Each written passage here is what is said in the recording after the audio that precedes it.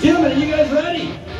Yeah, let's get ready to bike race again. Bridget McDonald is going to count you down from five seconds. The owner of Eagle Power Turf and Track. We're going to hand it over to Bridget, and then you guys are going to launch yourselves. Best of luck, gentlemen. In five, four, three, two, one, go!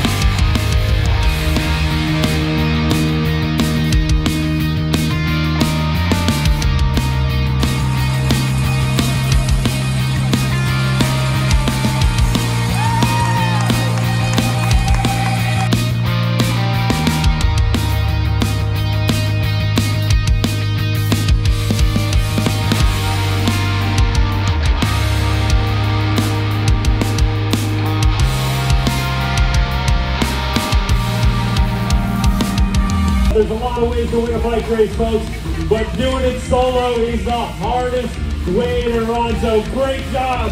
Give it up to us hand for Mr. Ethan Ingersoll taking on a big, big win here. Coming right up Court Street right now. Oh, all the way to line. Looks like it's going to be 306 and 311.